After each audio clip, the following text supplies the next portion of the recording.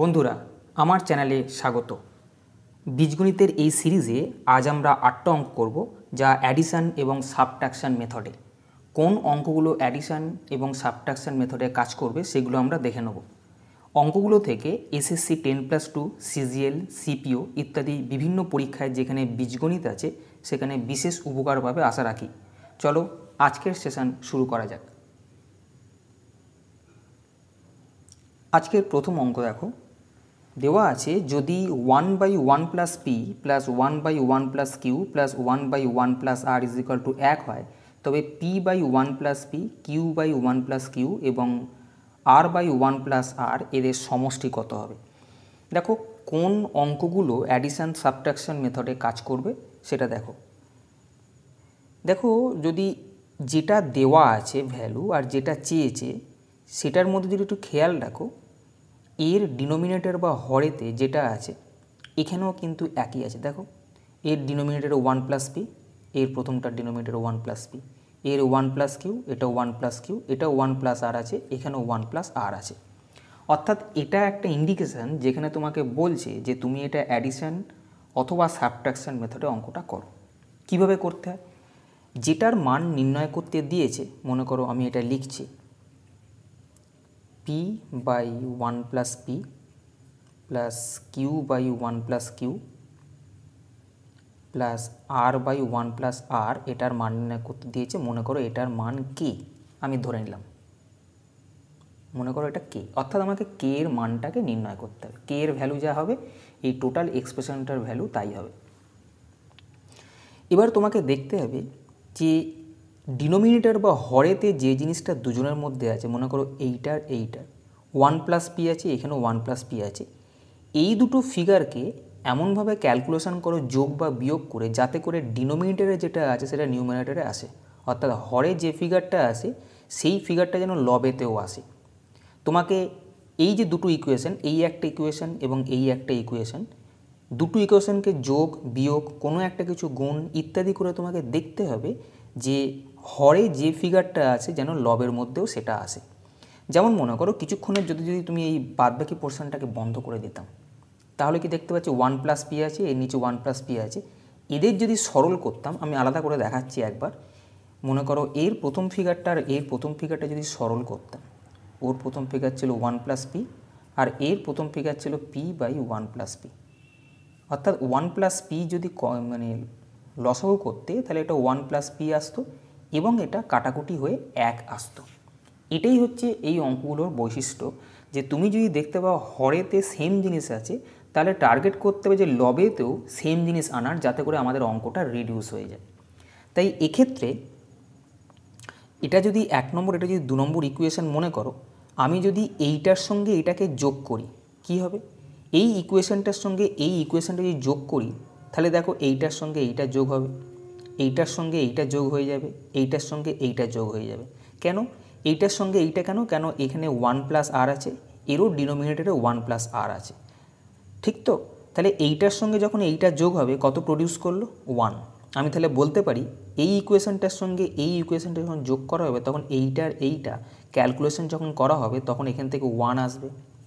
এইটার সঙ্গে যখন এইটা ক্যালকুলেশন করা যাবে, একই রকমভাবে ওয়ান প্লাস কিউ লসাগু এলে ওয়ান প্লাস কিউ আসবে, অর্থাৎ এখান থেকেও এক আসবে। এইটার সঙ্গে এইটা যখন যোগ করা আসবে, সেটাও কাটাকুটি হয়ে এক আসবে এবং এইটার সঙ্গে এইটা যোগ হলে আসবে ওয়ান প্লাস কে সমান চিহ্নের এদিকে একটা, এদিকে এক কেটে দিলাম, তাহলে কে এর মান কত এলো? এক, একে দুই। এটাই হচ্ছে তোমার উত্তর, কেন আমি ধরেছিলাম এইটার মান কে, অর্থাৎ পুরো এক্সপ্রেশনটার মান কে ধরা হয়েছিল।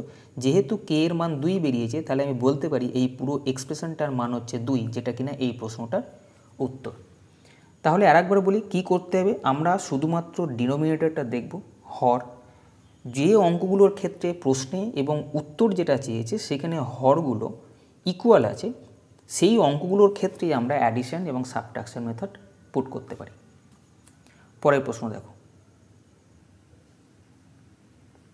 দেখো একই রকমভাবে এইটার মান দেওয়া আছে এক, এইটার মান চেয়েছে। দেখো এর ডিনোমিনেটর ওয়ান প্লাস এক্স এখানেও আছে, এখানেও ওয়াই প্লাস ফাইভ এখানেও আছে, এখানে Z plus one zero one five এখানেও Z plus one zero one five তার মানে এটা অ্যাডিশন অথবা সাবট্রাকশন মেথডে কাজ করবে। আমি এটাকে নিচে রাখছি, যাতে করে আমার বলতে সুবিধে হয়। Y by Y plus five plus এক Z Y Z plus one zero one five এইটার মান বার করতে দিয়েছে কত? আমি ধরে নিচ্ছি এটার মান কে অর্থাৎ আমাকে কে এর মানটা নির্ণয় করতে হবে।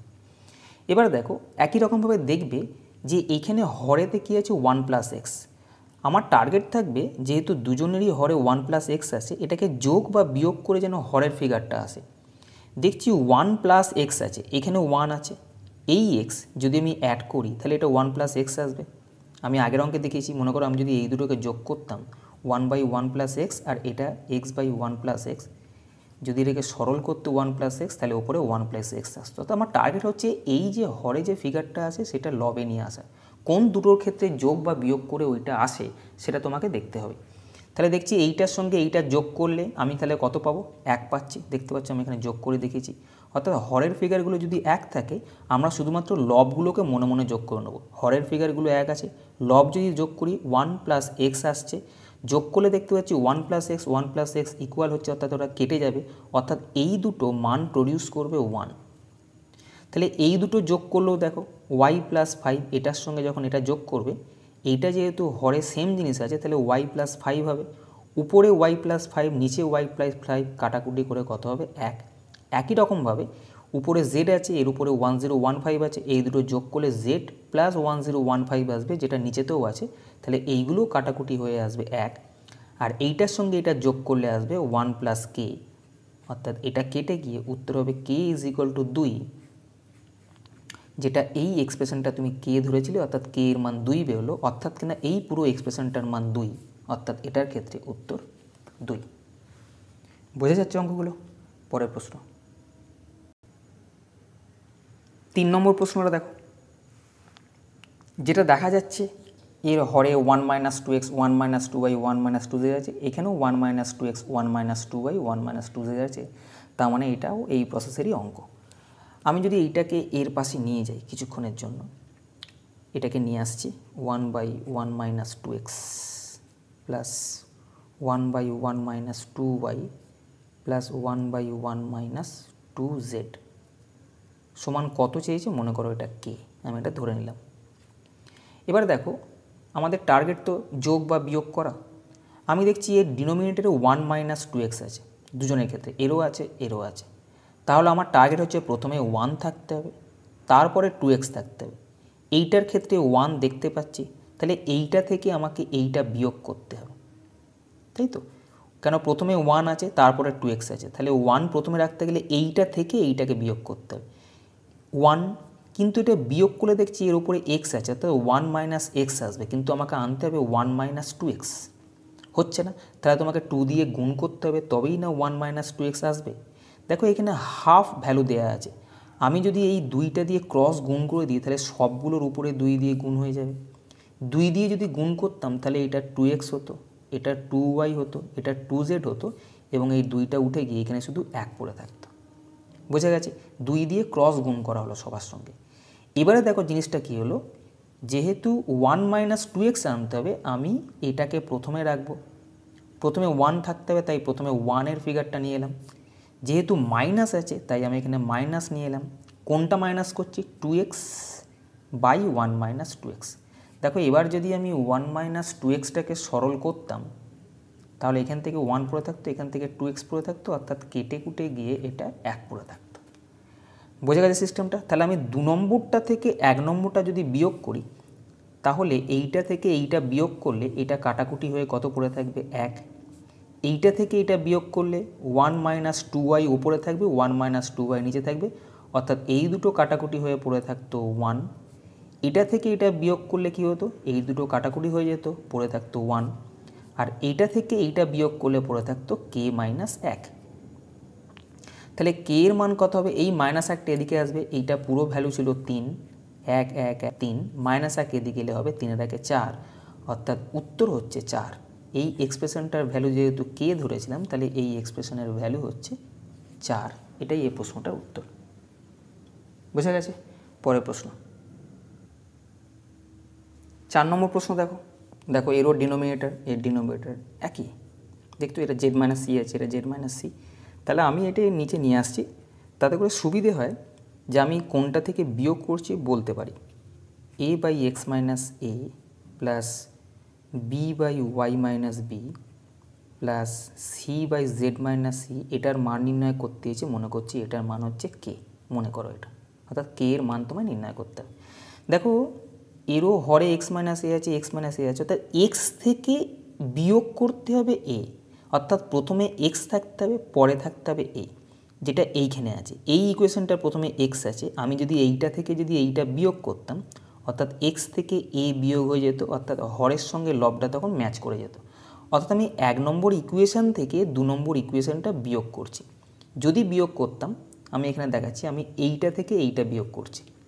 X by X minus A থেকে বিয়োগ করছি A by X minus A তাহলে এক্স মাইনাস এ যখনই লসাগু করব, তখন এক্স মাইনাস এ হয়ে গিয়ে এইটা কেটে গিয়ে এক আসবে। এটাই আমার টার্গেট যেটা কাটাকুটি করা। বোঝা গেছে? যার জন্য হরটা সেম থাকলে এই প্রসেসটা কাজ করে। তাহলে এইটা থেকে যখন এইটা বিয়োগ করব, তখন এরা কাটাকুটি হয়ে গিয়ে এক পড়ে থাকবে। একইভাবে এইটা থেকে যখন এইটা বিয়োগ করব, তখন এরা কাটাকুটি হয়ে এক পড়ে থাকবে। এটা থেকে যখন এটা বিয়োগ করব, তখন এটা কেটে এক থাকবে। তাহলে আমাকে এইটা থেকে এইটা বিয়োগ করতে হবে। তাহলে চার থেকে আমি কে বিয়োগ করব? বোঝা গেছে কি? তাহলে মাইনাস কেটে এদিকে নিয়ে চলে যাও। পজিটিভ হয়ে গেল। এই চার যেরাম ছিল, এই এক, দুই, তিন, এই তিনটা এদিকে শিফট হয়ে যাবে। চার থেকে তিন বাদ দিলে এক। এটাই হচ্ছে এই প্রশ্নটার উত্তর। বোঝা গেছে? চলো পরের প্রশ্ন। পাঁচ নম্বর প্রশ্ন দেখো। দেখো, এখানেও X minus P X minus P Y minus two Q Y minus two Q Z minus three R Z minus three R মানে এটা রিপ্রসেসর এটা বারবার বলছি, তোমরা পরীক্ষার সময় দেখলেই বুঝতে পারবে যে এইটা অ্যাডিশন সাবট্রাকশন মেথডের মধ্যে পড়বে। এখন এইটার মান চেয়েছে, আমি যদি এটাকে নিচে বসাই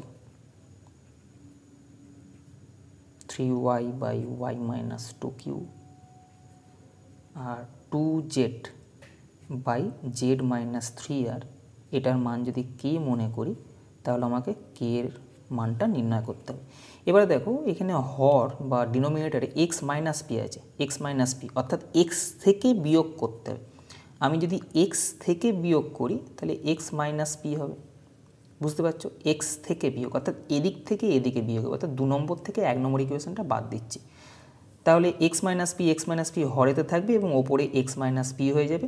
X minus P by X minus P কাটাকুটি করে এক আসবে। আর একবার দেখাই, এটা আছে X by X minus P সেখান থেকে বিয়োগ করছি উপরে P by X minus P X minus P যদি সরল করি, তাহলে এক্স মাইনাস পি এটা কেটে গিয়ে কত আসবে?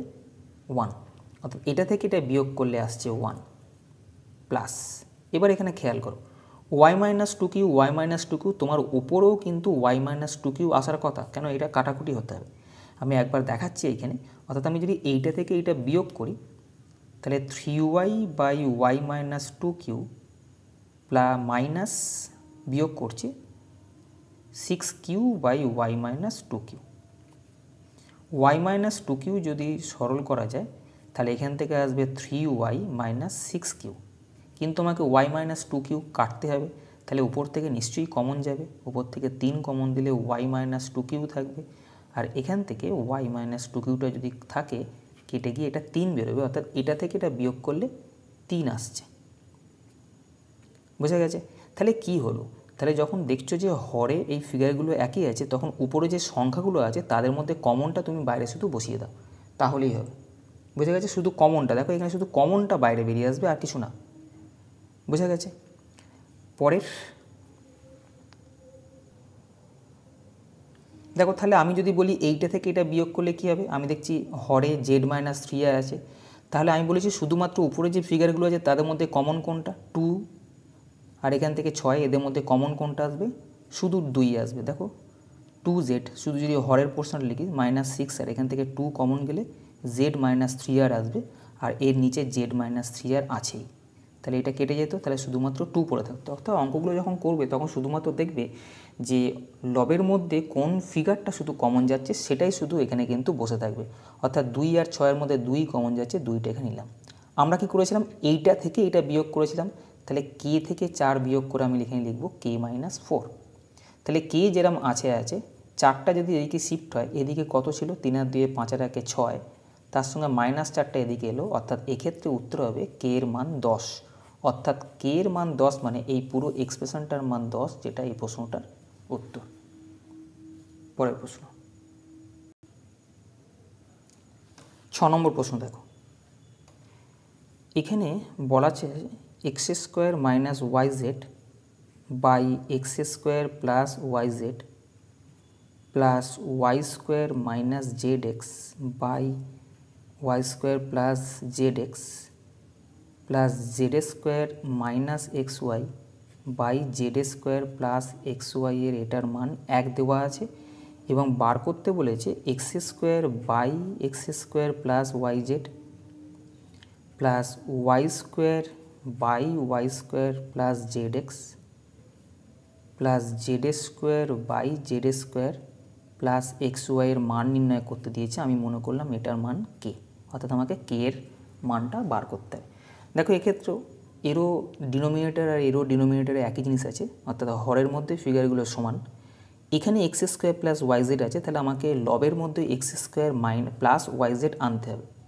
কিন্তু আমি এখানে দেখতে পাচ্ছি, এটা থেকে এইটা যদি বিয়োগ করি, মনে করো এক্স স্কোয়ার থেকে যদি এটা বিয়োগ করি, তাহলে এটা কেটে যাবে। এক্স স্কোয়ার এক্স স্কোয়ার কেটে যাবে। তাহলে এক্স স্কোয়ার প্লাস ওয়াইজেডের অস্তিত্ব থাকবে না। তাহলে তোমাকে এই দুটোকে নিয়ে একটু ভাবতে হবে যে এমন কি জিনিস এখানে গুণ বা যোগ ভাগ কী করা যায়, যাতে করে হরের মধ্যে এক্স স্কোয়ার প্লাস ওয়াইজেড এই ফিগারটাই আসে। দেখো, আমরা যদি একে দুই দিয়ে গুণ করতাম, একে যদি দুই দিয়ে গুণ করতাম, কিরাম আসতো? আমি শুধু বলেছি এই পথটা শুধুমাত্র দেখবে। বাদবাকিগুলো সিমেট্রিক ফিগার বলে একই রকম রয়ে যাবে। আমি যদি এইটাকে দুই দিয়ে গুণ করতাম, কি আসতো? Two X square by X square plus Y Z এবং একে দুই দিয়ে গুণ করার পর আমি যদি এই ফিগারটা মাইনাস করতাম X square minus Y Z by X square plus Y Z তাহলে কিরাম আসতো? এখানে এক্স স্কোয়ার প্লাস ওয়াই জেডটা লসাগু হতো। এখানে টু এক্স স্কোয়ার আসতো মাইনাস এক্স স্কোয়ার মাইনাসে মাইনাসে প্লাস ওয়াই জেড এই টু এক্স স্কোয়ার থেকে এই এক্স স্কোয়ার বাদ দিলে শুধু থাকতো এক্স স্কোয়ার আর এখানে ওয়াই জেড থাকতো, এবং এরা পরস্পর কাটাকুটি হয়ে এক প্রডিউস করতো। বুঝে গেছে? তাহলে দেখতে পাচ্ছি, যেহেতু এটা সিমেট্রি ফিগার যে কোনো একটাকে আমি যা কাণ্ড করব, বাদ বাকি সবগুলোর ক্ষেত্রে কিন্তু একই রকমভাবে চলবে। তাহলে আমি দেখতে পেলাম, আমি যদি এই পুরো ফিগারগুলোকে দুই দিয়ে গুণ করি, দুই দিয়ে যদি গুণ করা হয়, দুই দিয়ে গুণ করে এইটা থেকে আমি এইটাকে বাদ দেবো। তাহলে দুই দিয়ে আমি গুণ করছি, দুই দিয়ে যদি গুণ করতাম, এখানে সবগুলোকে দুই দিয়ে গুণ করব, তাহলে সমান চিহ্নের এইদিকেও দুই দিয়ে আমাকে গুণ করতে হবে। বোঝা গেছে? এবার দেখলাম এটা থেকে এইটা বিয়োগ করলে এদের বিয়োগফলটা কেটে গিয়ে এক আসবে। এই সব এখানে দেখিয়েছি। তাহলে আমি এইটা থেকে এটা বিয়োগ করছি, তাহলে বিয়োগফলটা কেটে গিয়ে এক আসবে। প্লাস এটা থেকে এটা বিয়োগ করলে এদের বিয়োগফলটা এক আসবে।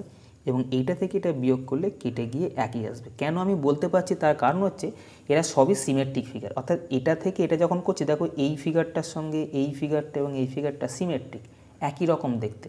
যেটা আমি অ্যালজেব্রা পার্ট টুয়ে বলেছি।